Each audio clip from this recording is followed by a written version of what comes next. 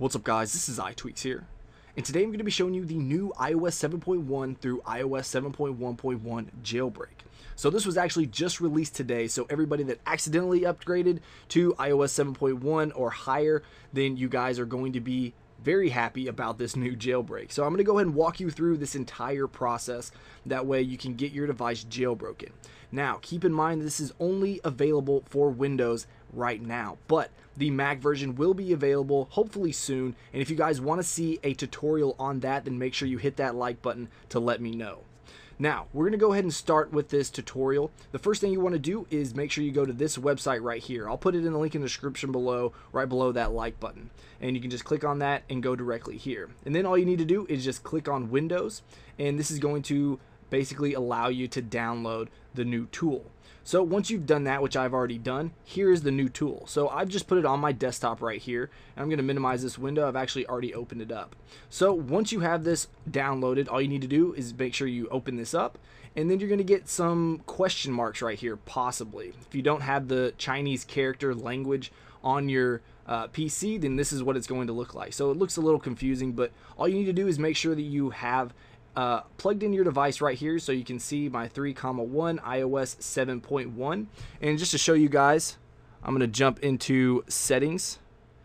And I'll show you that I'm actually on iOS 7.1 as you can see right there. So we're gonna go out of that. And then the next thing you want to do is make sure that you untick this box. And basically what this does is if this box is ticked when you jailbreak your device it is going to install third-party software. So you don't really want that. So untick that box and then what you're going to do is click this little button right here with all the question marks. This is basically just the jailbreak button. So we're going to go out of this, swipe over, and we're going to click this button. Now, right when you click that button, it's going to tell you that you need to go into your settings. So we're going to swipe over here, open up our settings, and then we're going to go back. And basically what we're needing to do is change our date and time. So we're going to scroll down here to date and time, and then we're going to take off set automatically. And then we're going to tap on this date right here, and then we're just going to scroll up. It needs to be on June 2nd or later, but we're just going to put it on June 2nd right here. So once you get it on June 2nd, hit the home button, and you should be good. It's going to start the jailbreaking process. Now, it's going to continue through right here, as you can see. And once this goes through, there's not a whole lot of indicators on the uh, UI right here that's going to be telling you what it's doing, but just give it some time and uh, let it do its thing. Now you're going to notice right here that we have on our device a new icon. This is the Pangu icon. So once you have that icon, just go ahead and tap on it. And it says, are you sure you want to open up this application? Tap continue and it should continue on with the jailbreaking process. So I'm to go ahead and speed up through this. That way you don't have to sit through the entire thing and I'll meet you at the next step.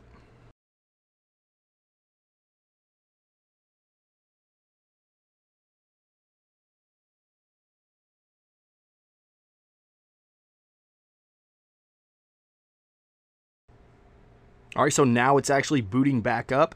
And you know that the jailbreaking process is complete once you see up here on the window that it says that your device is plugged in. It says that 3 comma 1 and then what iOS you're on, just depending on what device you're on as well. But the progress bar will be gray.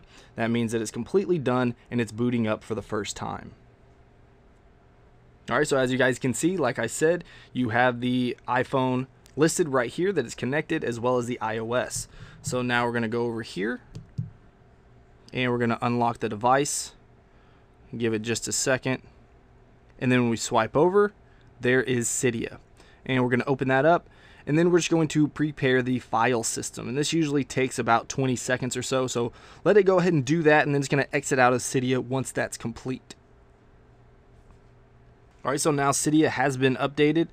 And you can see right here that we can open that up and we are now jailbroken on iOS 7.1 or if you're on 7.1.1 then you're jailbroken as well.